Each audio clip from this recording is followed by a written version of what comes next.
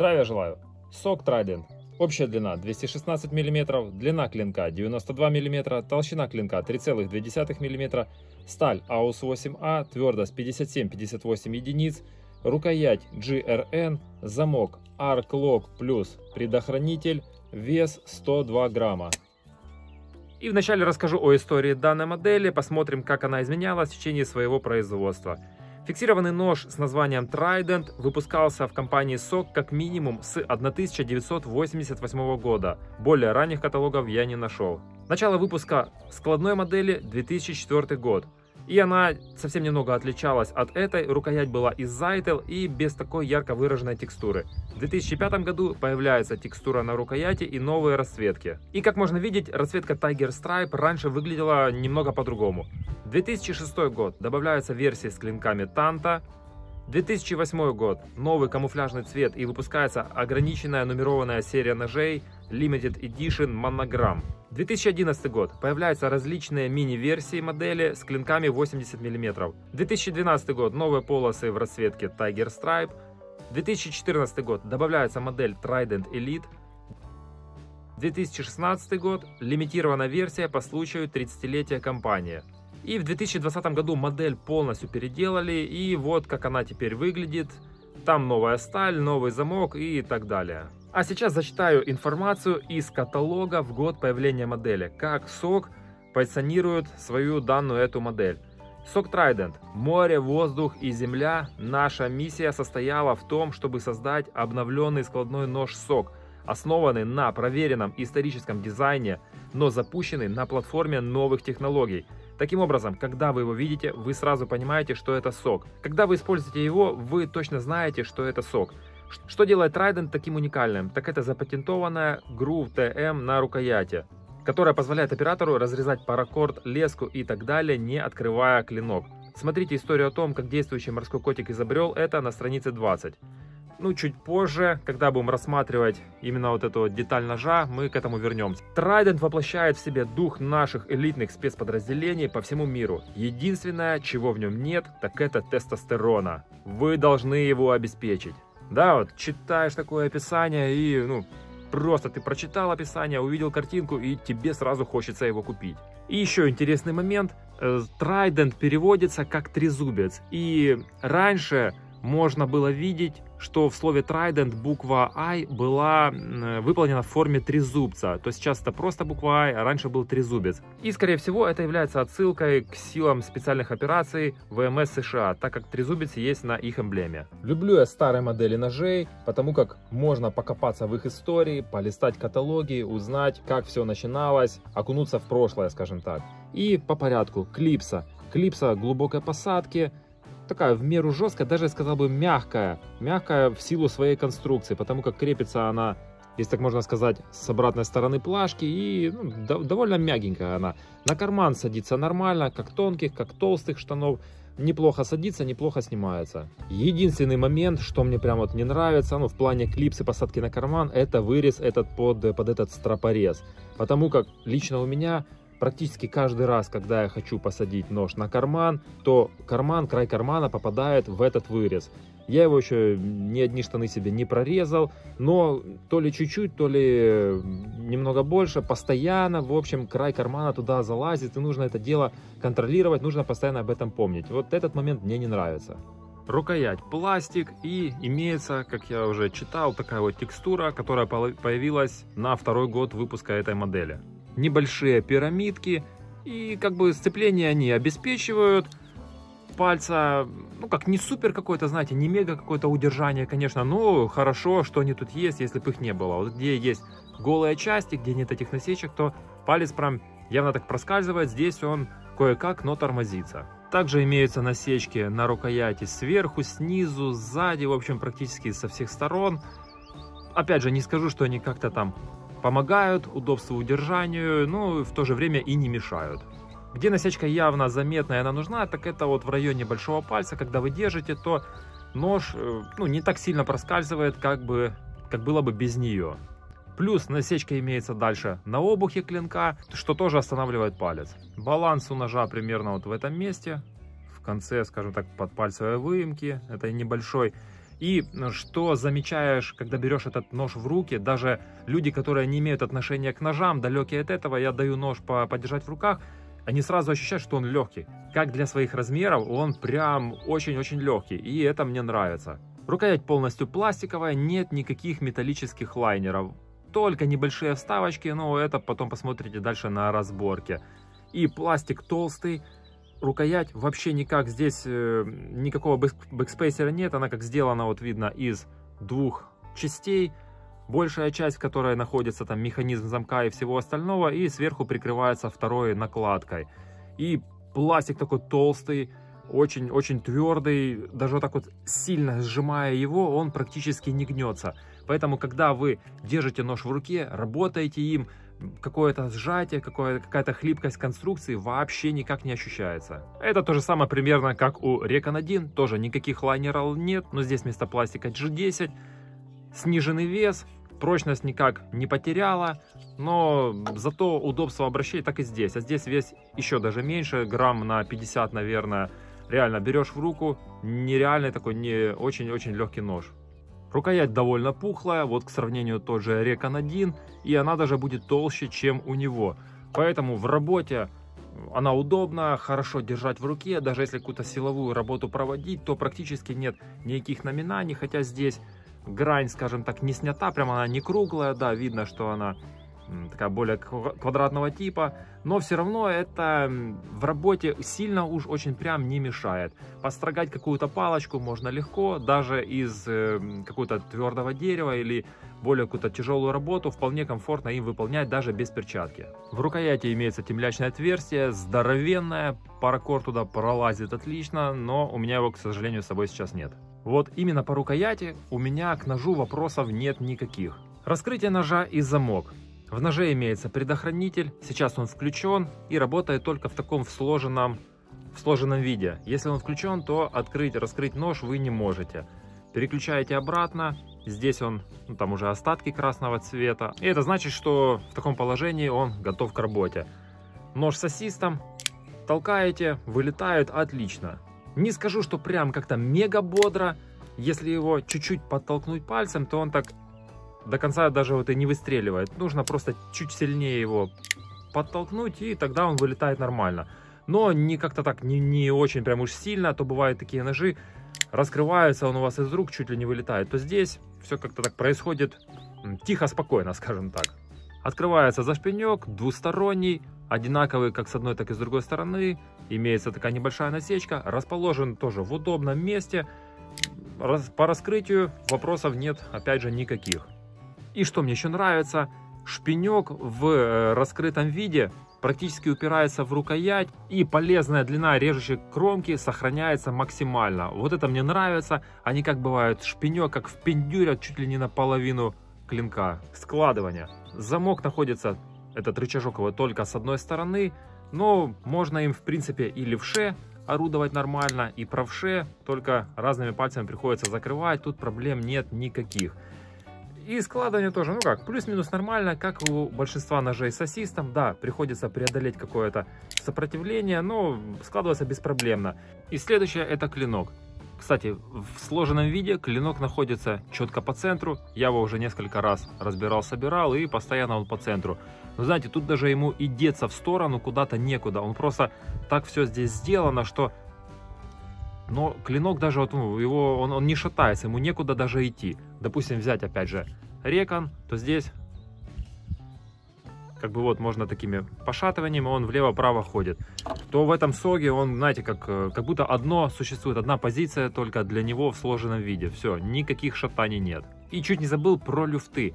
Изначально, когда я его получил, мне он как-то вообще, знаете, вот... Э, мне он понравился, ну, по картинкам, по фотографиям я увидел, сразу хотел купить то когда получил, он мне как-то... Я хотел его вернуть, даже связывался с продавцом, чтобы его вернуть обратно. Нож я брал, естественно, бэушный. И у него были люфты. Вертикальный, ну как бы, это, я так понимаю, что особенность конструкции.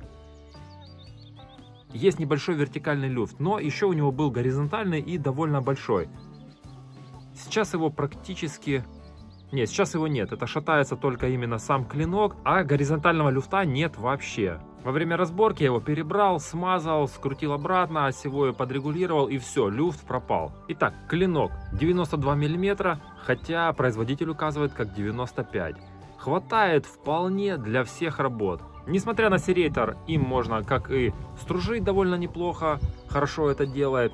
И также нарезка, форма, ну естественно клипоинт, по-другому быть не может. Нарезать удобно и на плоскости, или же там на весу что-либо разрезать. С этим он справляется хорошо.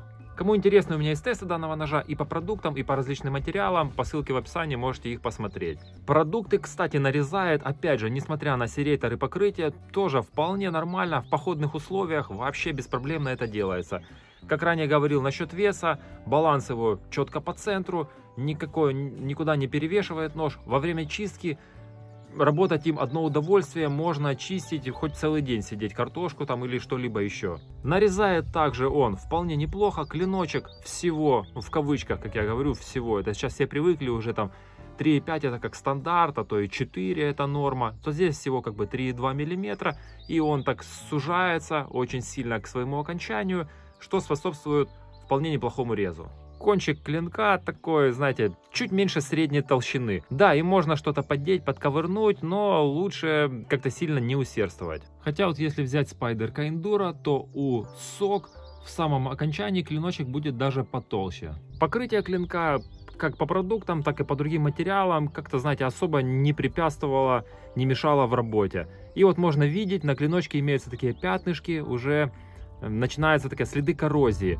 Я когда его приобрел, они были чуть меньше, я его промыл, почистил, и они пропали, их не было.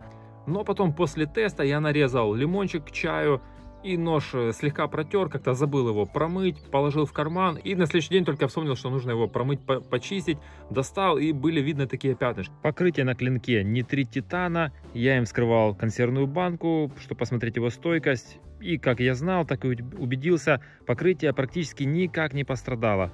Какие-то мелкие потертости лишь возникают при контакте с металлом или еще чем-либо, но ни царапин, ничего такого нет. Это не краска, покрытие прям очень хорошее. Клинок полусерейторный, и я к таким клинкам отношусь, ну, не очень. Не прям я от них в восторге. Как по мне, лучше или полностью будет серейторный, или же полностью плейновый. Хотя, знаете, в последнее время пытаюсь свое это мнение переосмыслить. Так вот, полусерейтор, для чего он хорош? Ну, вернее, серейтор. Рассматриваем именно вот его серейторную часть. Разрезание не только веревок, как многие думают, а всяких пластиковых вязких материалов шланги, стяжки, пластики, какие-то бутылки, баклажки, не знаю, упаковки, куча всего разрезается им отлично. Единственное, что не очень удобно делать полусерейтором, это две вещи. Чистить продукты, строгать деревяшки. Хотя серейтор серейтору, конечно же, рознь, то здесь он нормальный, он еще так плюс-минус нормальный, потому как волны эти выполнены э, так плавненько, относительно плавно, он похож на серейтор спайдерка, что нет у него каких-то острых, прям сильно выступающих зубьев. Как я для себя заметил, чем меньше вот эти вот все волны,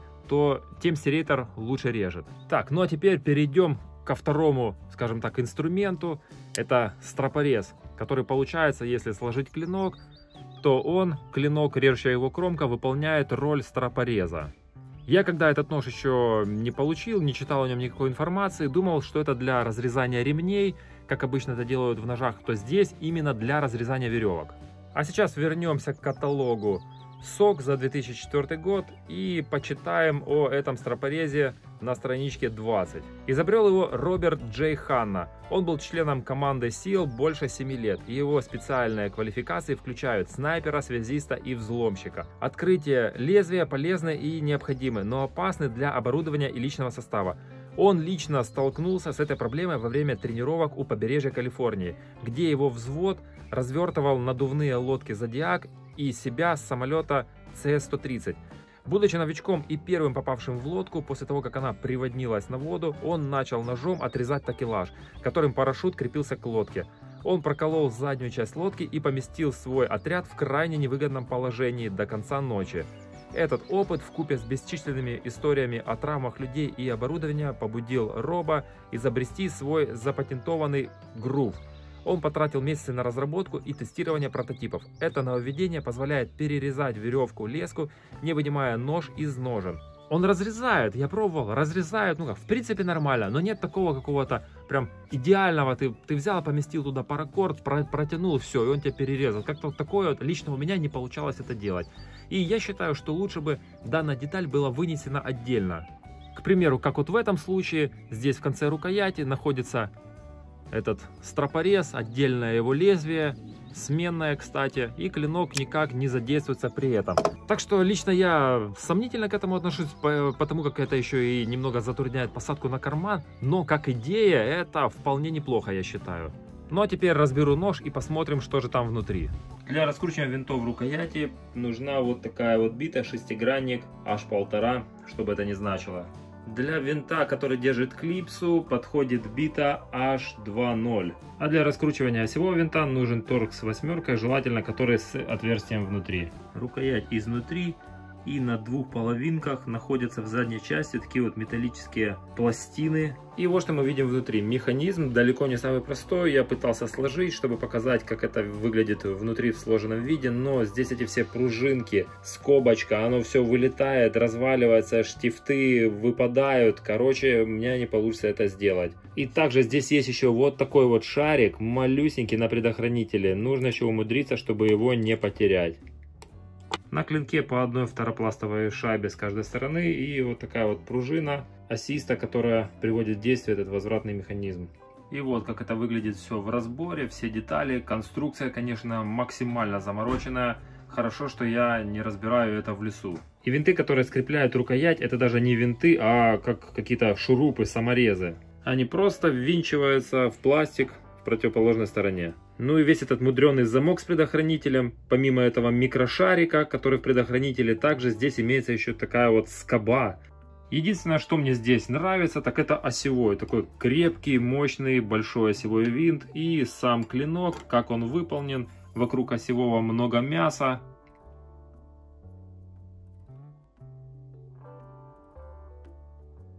Ну и стопорная бонка не самая маленькая, довольно такая толстая.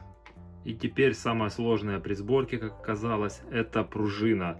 Она входит э, в этот паз сюда, один ее конец, а второй должен войти в отверстие. Да, попотеть пришлось. Итак, сначала одел пружину сюда, этот кончик его был здесь, и я, в общем, тянул его, битой подводил. Ну, короче, занятие такое себе. Да, разборочка оказалась еще тем делом. Повторюсь, хорошо, что я не стал это делать сейчас здесь, а сделал это заранее. И вот за надежность данного замка я ничего не скажу, я не знаю, какой он там супер прочный или какой-то хлипкий.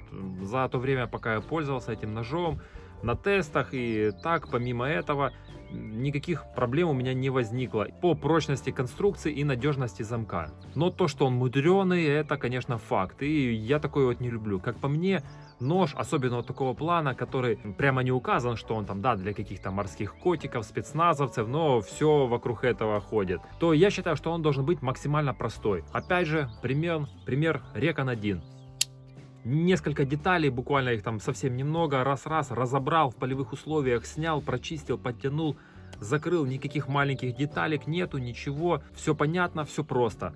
То здесь чтобы его разобрать, это целая история, нужно куча этих бит. В общем, решение, как по мне, такое вот спорное. Но интересное, как минимум интересное. А теперь сравнение. Викторинок 111 91 мм. SRM 9201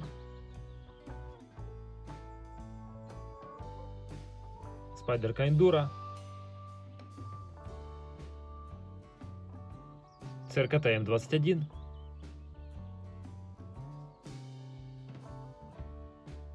Cold Steel Recon 1.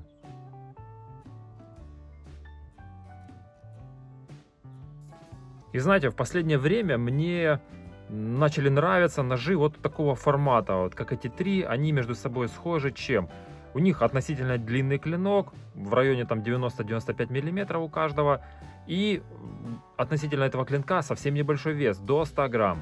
И что мы имеем в итоге? Довольно интересная модель, как по мне, как я часто упоминаю. Нож довольно большим клинком, при этом он легкий, прям реально очень легкий, но в то же время и прочный. Нет никакого ощущения хлипкости, когда вы им работаете, когда вы его держите. Единственный момент это стропорез, ну хотя, если он мне не нужен, то не факт, что он не пригодится кому-то другому. Ну и плюс быстрое раскрытие ножа, тоже мало ли для кого-то, для каких-то там морских котиков, сержантов и прочих, может для кого-то это будет и важно, такое быстрое раскрытие.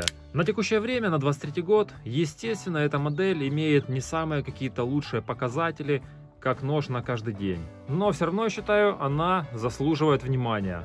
На этом все. Конец связи.